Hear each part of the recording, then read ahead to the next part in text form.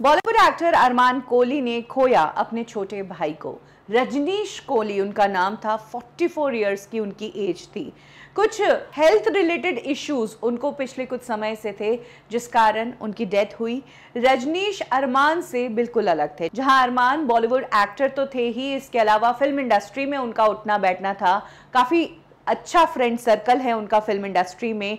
वहीं रजनीश शुरुआत से ही इस ग्लैमरस दुनिया से दूर रहे हैं। और लंबे समय से वो व्हील चेयर पे थे। रजनीश बॉलीवुड में कहीं भी आते जाते नहीं थे और ना ही बॉलीवुड इंडस्ट्री में उनकी कुछ खास नेटवर्किंग थी।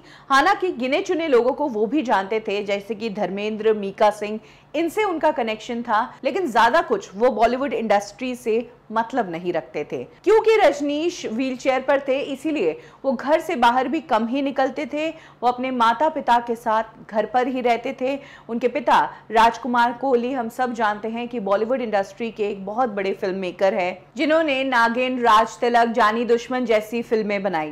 वहीं अगर बात करें अरमान कोहली की तो अरमान ना सिर्फ़ एक बिग बॉस कंटेस्टेंट रह चुके हैं, बल्कि उन्होंने भी जानी दुश्मन नाम की फ़िल्म में काम किया। हालाँकि अरमान कोहली इतने सक्सेसफुल एक्टर नहीं बन पाए, लेकिन उसके बावजूद वो हमेशा मीडिया का हिस्सा रहे हैं, अपने पर्सनल रिलेशनशिप को लेकर, अपनी गर्लफ्रेंड्स के तरफ़ अब्यूजिव होकर। कहते हैं कि रजनीश पर उनकी पूरी फैमिली का बहुत ज़्यादा दिल अटका हुआ था, क्योंकि वो व्हीलचेयर पर थे और फैमिली उनको बहुत ज़्यादा प्यार करती थी। रजनीश अरमान के छोटे भाई थे, लेकिन अरमान उन्हें अपने बेटे की तरह ट्रीट करते थे। अरमान की लास्ट पॉपुलर फ़िल्म रही प्रेम रतन धन पायो और बिग बॉस के बाद वो एक हाउस होल्ड नेम हो गए।